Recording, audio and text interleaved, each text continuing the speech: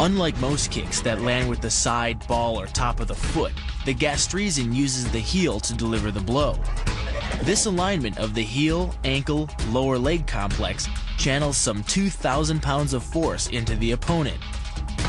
More than enough to break a baseball bat. The higher you can lift your opponent in this move, the faster he'll hit the ground. It's not just your force working against him. His acceleration due to gravity can mean his head hits the ground with a 3,500 pound impact. On a hard surface like concrete, this is more than enough to cause a serious brain injury. First, the opponent's arm works as a lever to optimize your control. Second, your own back serves as a pivot point for the throw. The strength and stability of your back allows you to throw a much heavier opponent than in a move that requires you to lift him. This move uses your opponent's arm as a lever working against him. The greater the torque on his shoulder, the greater the pain inflicted.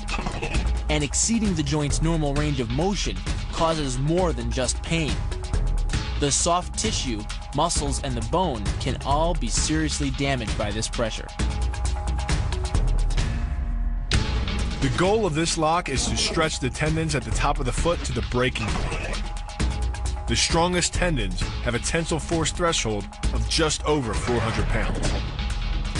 Applying any more pressure than that can tear the tendons from their base or snap them in two.